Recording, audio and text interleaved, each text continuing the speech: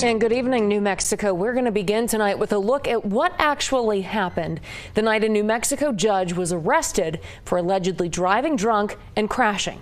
New body and dash camera video gives us more perspective into the mental state of Santa Fe Magistrate Judge Dev Atma Khalsa the night he was put in jail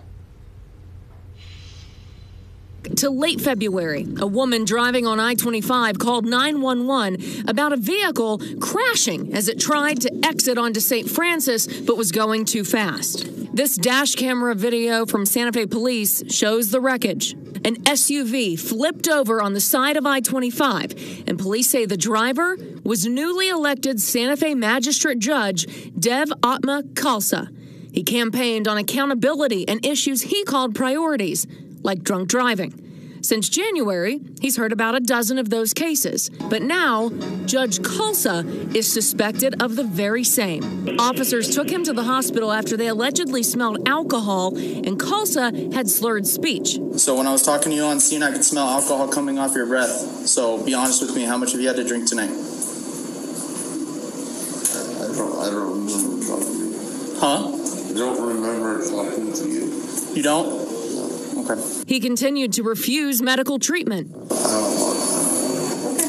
right. Hold on, we can let you go. He can take you. But like I said, there's a chance you could die. But if you're refusing, there's nothing we can do, okay? Chance I could die from what? From missing an injury from the accident. Officers tried to read Khalsa his rights multiple times, but instead. But it only flipped one time. And everybody's been saying there's been multiple, multiple, multiple flips. We're not concerned about how many times you flipped at this point. Right now, we're concerned about making sure you get medical treatment. And no, you're not. You're doing an investigation. Yeah, and we're investigating to make sure that you're not under the influence of anything right. Yeah, so I'm that's not. why we're that's why we're doing that, and we're asking if we if you will get consent for us to allow a blood draw. No. Okay.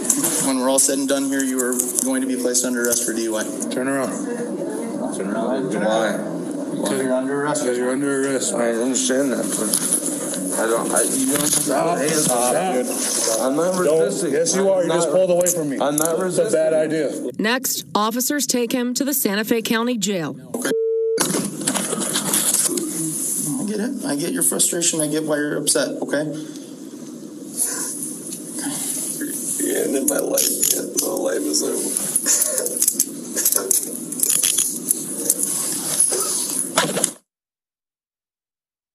Khalsa pleaded not guilty to DWI, careless driving, and driving without a license. If convicted, Khalsa faces up to 90 days in jail. He has been ordered to not conduct any hearings until further notice. Now, we did reach out to his attorney tonight. They said they have not received any evidence in this case, so they cannot comment at this point.